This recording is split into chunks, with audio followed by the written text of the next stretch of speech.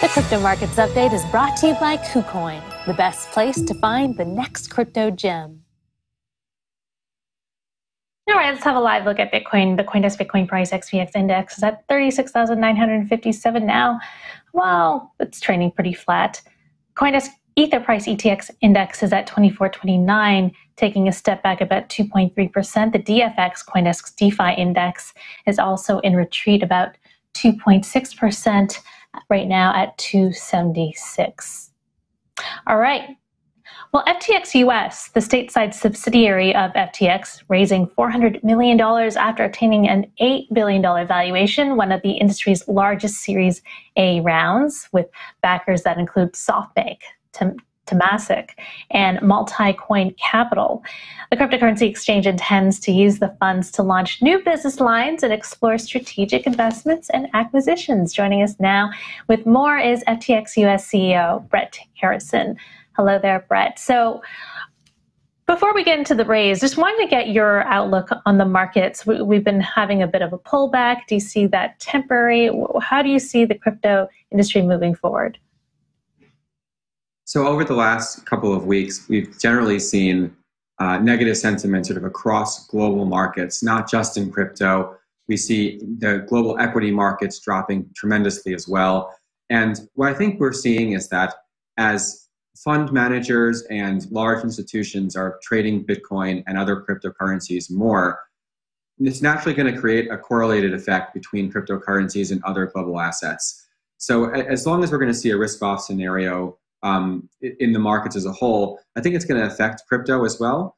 Um, but also, crypto is a very volatile asset, and it's obviously reached record-breaking highs over the last, you know, let's say four months or so. It's sort of natural to see pullbacks uh, and cycles with crypto.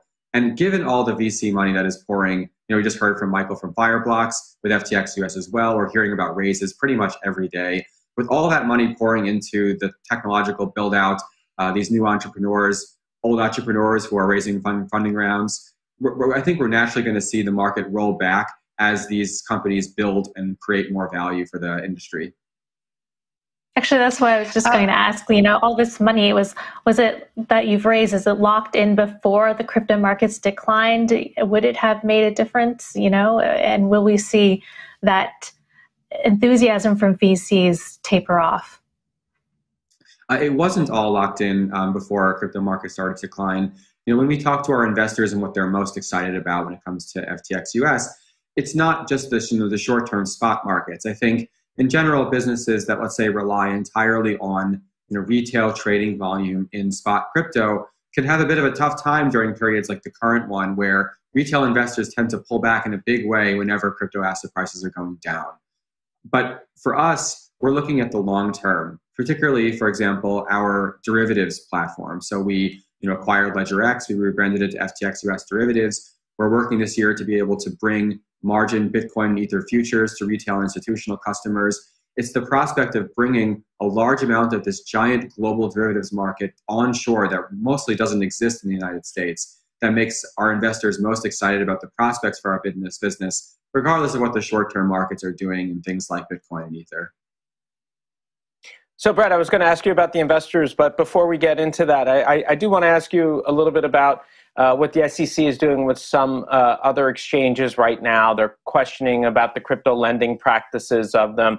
Uh, how much of that is a concern to FTX?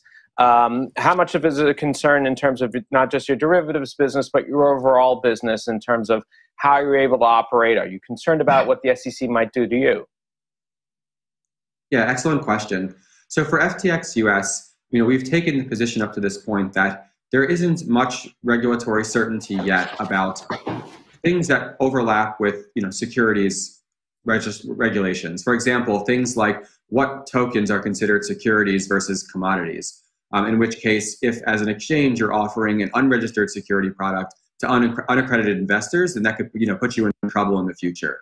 Same thing with lending products that might be considered securitized products or investment contracts. So that's why you know we we do hear a lot from our user base that they would like to see us list more tokens. But as an exchange, we've taken the position that you know it's it's much better to sort of look at the long run and know that if we're going to be able to list things, we have to be extra sure that this isn't going to be something that's going to get us in trouble with, for example, the SEC in the future. The derivatives platform is regulated by an entirely different regulator, which is the CFTC.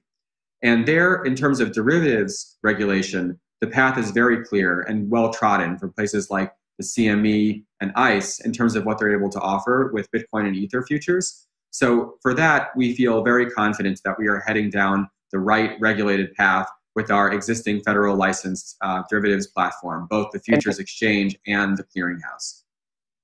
Any about what, what President Biden will do, um, you know, with the potential of an executive order coming down the pike? So he, he said that he's, you know, very concerned about um, about national security as it relates to cryptocurrencies. I imagine probably the first thing that we're going to see from the administration is going to be some kind of order relating to stablecoins and trying to understand what actually are they, um, which ones exist, are there any that pose any sort of systemic risks um, to the economy? Are there any that propose risks to um, to cybersecurity and to you know the general functioning of our monetary system as it relates to our um, to other foreign you know foreign entities? I think that's probably the first thing that we're going to see come from um, from this executive order, and I think it follows in the heels of the president's working group, where I think it's natural to want to be able to have common sense auditing of stable coins and their underlying assets to make sure they're not posing systemic risks. Uh, Brett, my understanding is that one of the main goals for FTX US is to uh, take the first, the, the, the, biggest exchange in the US, and in that sense, passing over Coinbase. Um, let's just get into the Coinbase thing for a second. Um, so, Coinbase, other than first mover advantage, um, what, what do you think it will take to actually for FTX US to move to, to number one? What are some of the obstacles, the main obstacles that are that remain in terms of you know beating Coinbase? Sure. Um, so I think that retail users want to put their money in one place. It's there's a lot of friction to being able to, for example, take your entire you know savings that you put into crypto and entirely move those from an existing platform to another one. Now, Coinbase has over you know 60 million users. They are an incredibly successful pro- uh, product for retail, and they've really captured those retail users from their first mover advantage, being the first public exchange um, to you know to list and being around for almost what 10 years now. So we have a lot of work to do if we're going to beat them just head to head on spot that's why we have to, in order to be able to at least you know achieve um, the kinds of volumes and user bases that Coinbase has, to be able to diversify the product offerings. That's why, for example, we launched our NFT platform last year. That's why we're very excited about derivatives and not just crypto derivatives. We're interested in you know going beyond that, for example. And there's nothing that would stop us from listing you know a broad-based equity index future um, or a different kind of you know commodity future as well, in addition to crypto crypto futures and options. And same thing with stocks as well. We're looking into hopefully offering you know things like common stocks to U.S. investors and trying to give people a, a holistic product for people to invest, sort of regardless of whether they're interested in crypto or not. Uh, Brett, Coinbase does have one very important thing, though, which is the BitLicense for operating in New York. Um, I imagine that that is like a very lucrative customer base. How, how important is that? And is that something that you're trying to get? Absolutely. So we're, we are, we'd be super excited to be able to take New York customers. FTX US doesn't currently take New York customers. It's something that we're actively working on with the New York DFS, which is being able to be licensed properly in New York so that we can take New York customers. It's worth mentioning that the derivatives platform, um, because of federal exemption and because it's a federally licensed exchange, we actually can um, take New York customers um, for the derivative side of the business. So that could be something where we'll be able to open our doors for New York customers in one part of our uh, asset offering, if not necessarily in, you know, let's, let's say in spot crypto immediately. But again, it's something that we're super actively working on with New York DFS. It's a very important piece of the puzzle. And it's very exciting to see, you know, people like Mayor Adams, you know, come out very, be very pro crypto, wanting to take their salary in Bitcoin and I think hopefully that the sentiment in New York really moves positively towards encouraging uh, companies like ourselves to be able to open business for all these New York customers that are you know dying to, to become customers of places like the FTX US. There's also an announcement this morning that a crypto super PAC that's backed by uh, Anthony Scaramucci's firm, uh, Skybridge, as well as FTX's uh, just been announced. So I'm wondering, uh, what are you looking for in candidates and political action in DC? You know, I'm not personally involved in that project, so I, you know, can't comment too much on it. But I will say that in general, having positive working relationships with legislators, with regulators, with legislators on both sides of the political aisle is, is critically important. And the, and the critical piece of it is, is education. You know, one thing that made us very optimistic about the future of crypto in the United States was the congressional hearing that Sam Bankman-Fried testified at um, a few months ago. That all of these legislators came together and wanted to have a productive conversation around what exactly is going on with crypto exchanges, what are the risks, what are the benefits, what are the potential innovations, how can we improve as a country in terms of fostering innovation in this industry.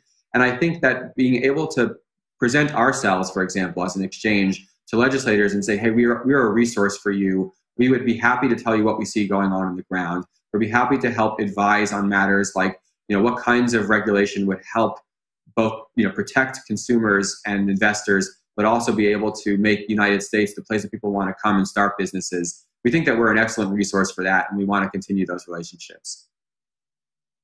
So, Brett, uh, you know, you've just done you just did this big uh, fundraise, of course, and so what percentage of F, of your equity is owned by FTX Global, the the, the parent company, and uh, is is Binance involved in any way uh, in FTX US or even in FTX Global? I mean, what, what what's the equity relationship there, and does it affect your ability to deal with with regulators? Um, so the answer is zero and none at all. So FTX US is not a subsidiary of FTX International. Um, our equity is not owned by FTX International. Uh, Binance is not on the cap table of either FTX or FTX US. Um, we do have a lot of similar, you know, investors in the cap table and ultimate beneficial owners of both companies. Um, Sam Bankman-Fried is the owner and founder and majority owner of both companies. Um, but it's not a subsidiary relationship between the two. They're actually operated you know, separately, separate servers, separate technology, et cetera. Um, but they do have an affiliate relationship between the two.